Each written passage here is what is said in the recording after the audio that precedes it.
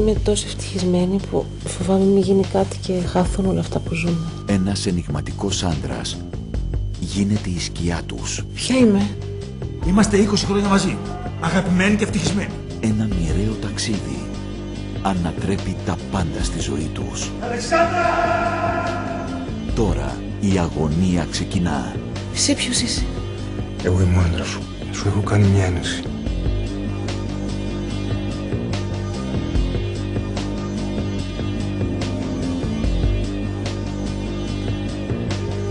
Η εξαφάνιση